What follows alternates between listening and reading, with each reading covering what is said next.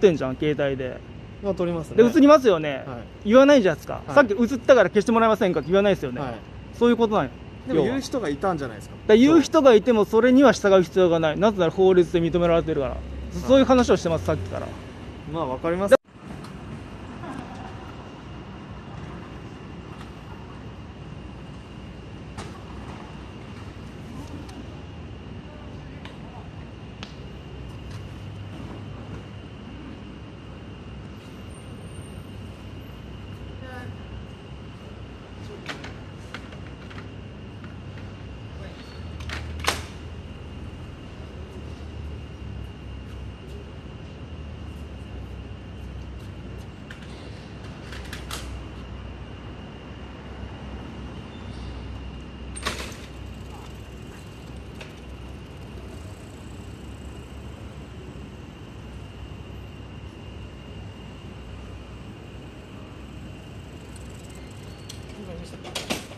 え？なんかありました動画撮られてるはい。どうしました？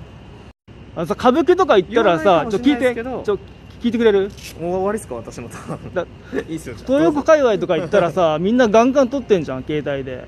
まあ撮りますね。で映りますよね、はい。言わないじゃないですか、はい。さっき映ったから消してもらえませんかって言わないですよね、はい。そういうことなんよでも言う人がいたんじゃないですか？だ言う人がいてもそれには従う必要がない。なぜなら法律で認められてるから、そういう話をしてますさっきからまあわかりますでけど。それでうん。言うんだったら、もう東横行って言ってこいよ。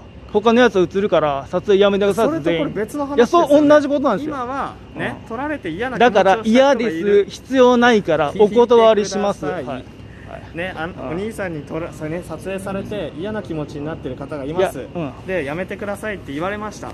でもそれは無視します。嫌な人の気持ちは考えませんって言ってるのと同じです今だから嫌です。法律云々かんぬんじゃないです。嫌です。あなたが嫌なことをしてるっていうだけの話でいやすそれは気持ちの問題でしょだって。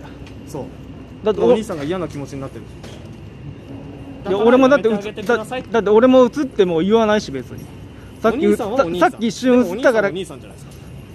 そうだよ。そうですよね。だから必要必要ないの、ずっとああ僕こう個人こう撮影してる感じだったんで僕は全然映すことも全然 OK なんですけど、なんかもう僕はすごい映ってたんで、それ嫌だったんですよ。だから、一回それは消してもらって一回それもこれ撮りたかったらそれ撮ってもらっても僕はいいんでいいんで僕はちょっとてるんで、あ兄さんと普通にまあ揉みたくもないしまあそうですよね。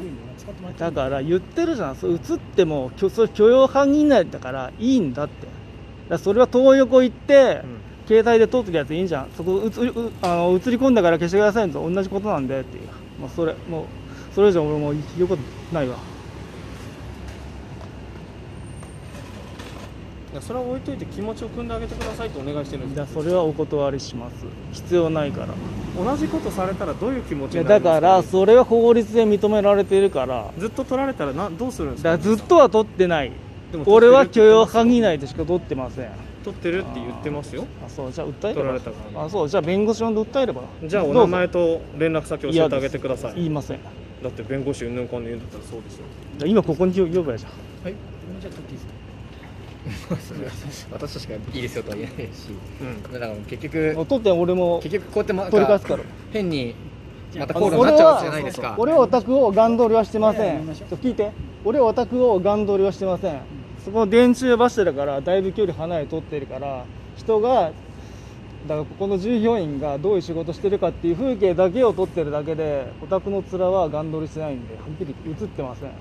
映ってないし映ったとしてもそのプライバシー侵侵害とかには絶対ならないように撮ってるんで俺法律分かってるから。結局ですね、うん。またこうやって取っていいですかってまた口論に発展するわけじゃないですか。そっちの方がお兄さん的にも面倒くさいと思うんですけど。そう思いませんか僕はあの普通にいやもういいですかもう終わりで。ここは終わって。もうこれ以上。だからそれで。やることない。揉める気はないんですよ。揉める気はなくて嫌な気持ちになったからお願いですから消してくださいといやだから違法行為もしてないのに強要するなよそれを。それこそ強要罪だよ。違法行為うんぬんかんぬん言ってないじゃないですか。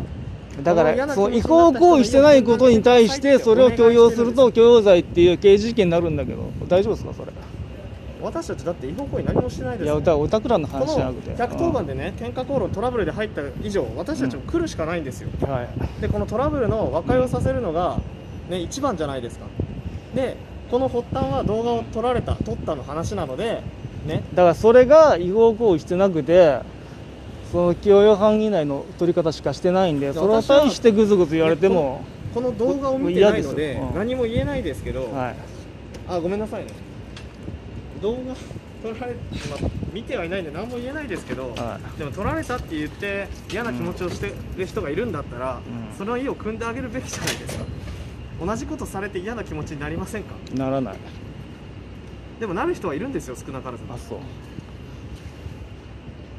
だからその嫌な人の気持ちを組んであげてくださいって言ってるだけです、嫌です嫌な気持ちにならないから。嫌な気持ちは考えませんっていうことでいい嫌な気持持ちになならないから。あなたはならなくてもなる人がいるんですよそうそういう話です。だからそれはだからそういう人によってさあるじゃん気持ちが。ありますね。ありますよ。それを解決するのが何だと思う？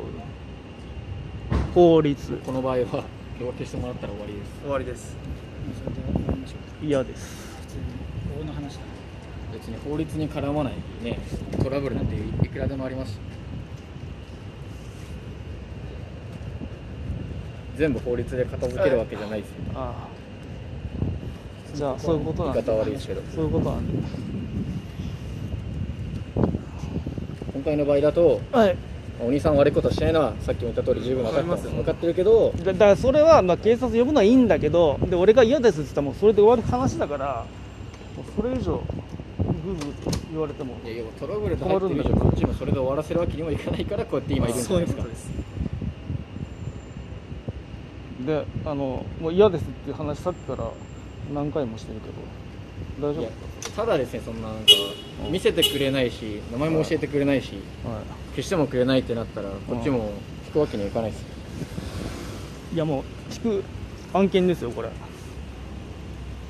だだから言うだけ言いますけどつってで消してくれませんか？つってで俺に言ってで俺が嫌ですっつったらじゃあもう法律にもう違反してないしそこで終わりですよっていう話だからそれをぐずぐず言って逆にこれ違法な職質になるけど。なりません。職務質問じゃないんで。110番臨場なんでこれ。でもそうおお終わってますよねその話。終もわってないですよ。解決何もしてないですもん。うしてないですね。でそれにお兄さん協力してくれないんですうん。しませんね。でここのトラブルいやだからが解決できないじゃないいやですか。だからお断りしますっつってそれで終わってる話だけど。いや要はそれでこっちがこっちの方が納得するんであればいいんですよ。いやだから納納得得しない。する納得するしないの話じゃなくて。いや和解させるのも私たちの仕事なんで。